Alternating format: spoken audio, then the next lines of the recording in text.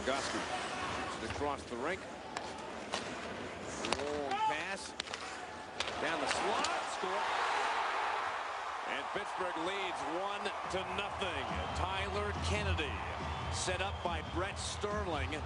And the Avalanche give up the first goal of the night. It's Pittsburgh one, Colorado nothing. Momentum drop pass. Shot save by Fleury on Stastny. Well, Fleury just stood his ground. Didn't move, and Stastny shot it right in the chest. There's a chance. Fred Stewart got the loose puck wide open net, and Stewart has scored his 13th goal of the season to tie the game. It's going to be insanity. To the point, going shot gets blocked. Once gets it again. It's shot. It bounced off of somebody. Gaunce took the shot. We'll see if the replay will show it off a Pittsburgh player. If it did, Gaunce will have his first NHL goal. If not, nonetheless, it's still a 2-1 lead for the Avalanche. Stewart scored a goal.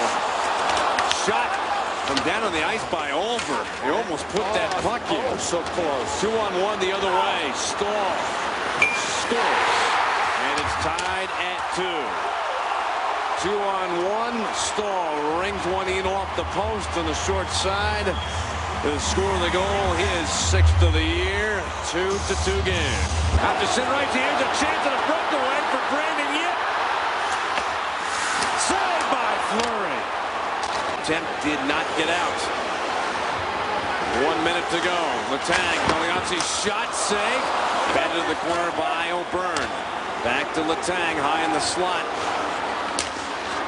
In the slot, big drive, save, rebound. And the Pittsburgh Penguins in overtime. Tyler Kennedy on the power play wins the game for the Pittsburgh Penguins. His 12th goal of the season. It comes with 50 seconds